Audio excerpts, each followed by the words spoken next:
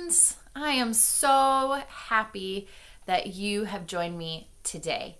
I can't wait to dig into a Bible story with you and give you some ideas for games and activities and um, ways you can think about this Bible story more with your families and your households. So, these are going to relate to the videos and the radio broadcasts that we hear on maybe Sundays. Um, and so uh, this past Sunday, we heard from Bishop Bill Tesch. He was our special guest preacher.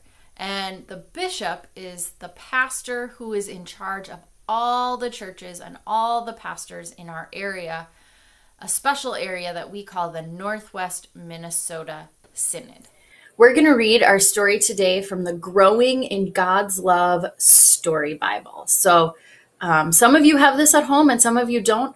Uh, I'll put the picture up on the screen and you can just use your ears to listen. Thomas wants to see. Have you ever wondered if something you were told is true? Asking questions helps you find answers. Asking questions about Jesus and Bible stories helps you be a better follower of Jesus. Listen in our story for Thomas's question.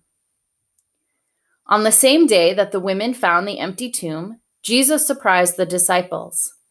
They, except for Thomas, were in a room with the door locked. They were afraid that the people who had killed Jesus would look for them. Suddenly, Jesus was in the room with them, but no one had unlocked the door. Peace be with you, said Jesus. Before he left, he showed them the scars on his hands and in his side. The disciples were joyful and happy. When Thomas came back, they all talked at once. Jesus is back! We've seen him up close. But Thomas wasn't so sure they were telling the truth. I'm not sure that I believe what you say. I'll believe you when I see Jesus in person myself. I want to see him with my own eyes. Eight days later, the disciples were gathered together in the same room. This time, Thomas was there too. Suddenly, Jesus was in the room, even though the door was locked. Jesus blessed them, saying, Peace be with you. Jesus said to Thomas, Put your hands on my hands. See the marks where the soldiers hurt me? Here I am, scars and all. Believe that I am alive. Amazed, Thomas touched Jesus' scars.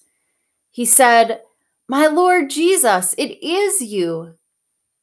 Thomas, Jesus said, Do you believe it is me because you can see me? Blessed are people who don't see me and still believe that I love them. After that day, Jesus did many wonderful things. He showed everyone God's love for the world. Some people wrote down what they remembered about Jesus and his stories. Because they did, we can learn more about Jesus, even though we can't see him. What a cool story. So, I have some questions for you. What do you say when you're amazed? Do you shout or sing or pray? What do you do? If you could see Jesus like Thomas did, what would you ask Jesus? What questions do you have for Jesus? That's pretty cool. And what are some other things you wonder about? Make a list. Then ask the people you love to help you find the answers. Now, grown-ups, I know this can be scary, um, but I'm here to help too. So don't be afraid to reach out uh, if you need some help answering questions. Okay, so here's an idea.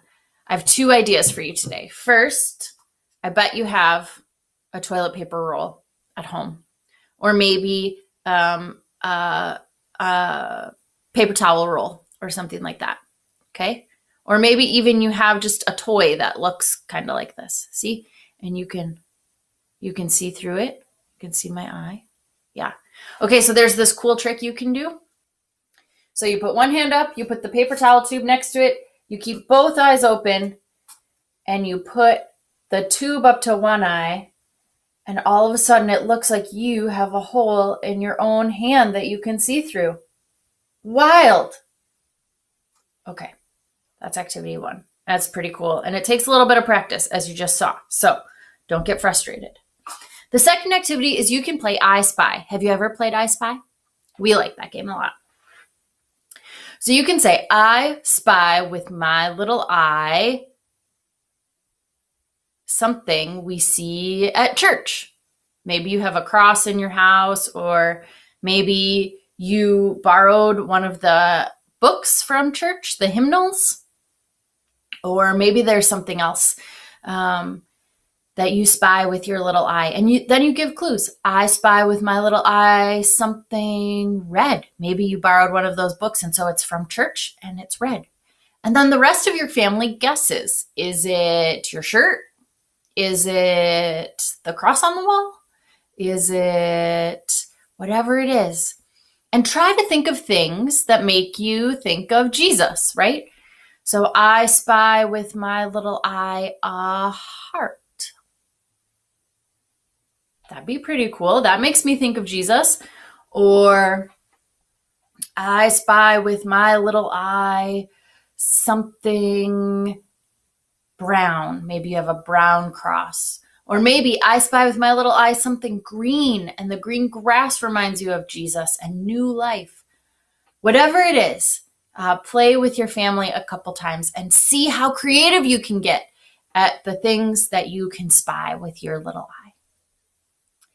I will see you again next week for another mini crosswalk, and I hope you have a great week. Thanks for joining me, friends. Bye bye.